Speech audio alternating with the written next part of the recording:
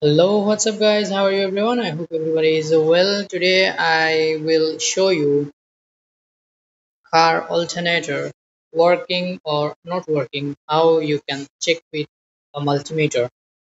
Okay, I will show you. You can see here.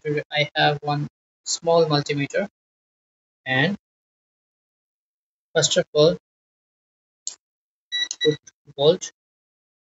Okay, and then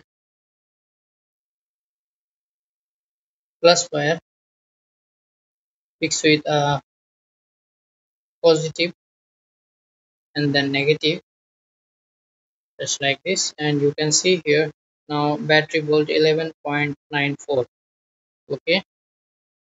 And when I start car how much uh, how uh, voltage when I start car what voltage uh, getting battery from alternator. So we will check here.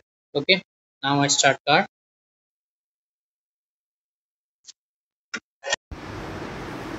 Now I start car. A charging output can be tested on a vehicle with a digital voltmeter.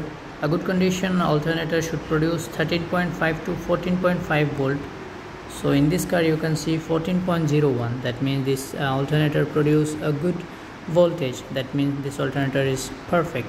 Okay? Thank you